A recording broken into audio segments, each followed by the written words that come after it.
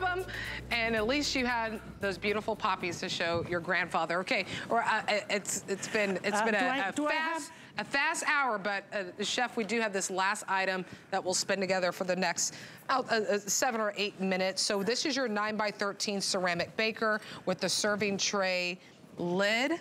Um, great things that we've seen that uh, some of these recipes are featured in the, if you picked up the cookbook. All of these recipes are in, in Congratulations to those who got the cookbook. You'll be able to yeah. use this. So I, I, love this idea of you have your baker that you can, you know, you bake your stuff in it and then you have your serving trays all together. I mean, uh, brilliant. It's beautiful. And they become, let me, let me show you, they become a nice... Nice cover. Cover but right? also, when you finish, if you're not finished anything, you can put it in the refrigerator like that, and you can stack things up.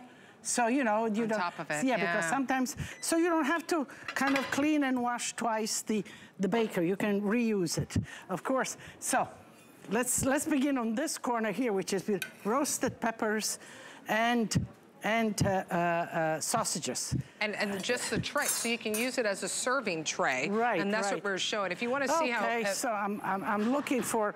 for what do you need help with, Chef? Uh, I, I like it on the I'll, serving tray the tongues, but I will figure it out. No, no, ah. it's okay. That's what you sure? kitchen is all about. You know, I'm, I, I, I am They here. want to talk to you. You talk I'm, to them. I'm here. I, am here for you. I'm here for those at home, and I'm here for Chef Lidia. Um, as she's serving that, I just wanted to show you, anything that you bake, there's like casseroles, there's meats, there's desserts that you can make. Um, the bread pudding that was in her book that a lot of you picked up that book before it sold out. You cook it in this beautiful ceramic um, a, a baker, which, by the way, 9 by 13 really great um, depth on this too of how deep that this is.